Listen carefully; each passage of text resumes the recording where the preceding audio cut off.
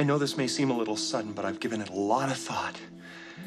You're the woman I've been waiting for my whole life, and I'm not ashamed to admit it. Please, let me finish.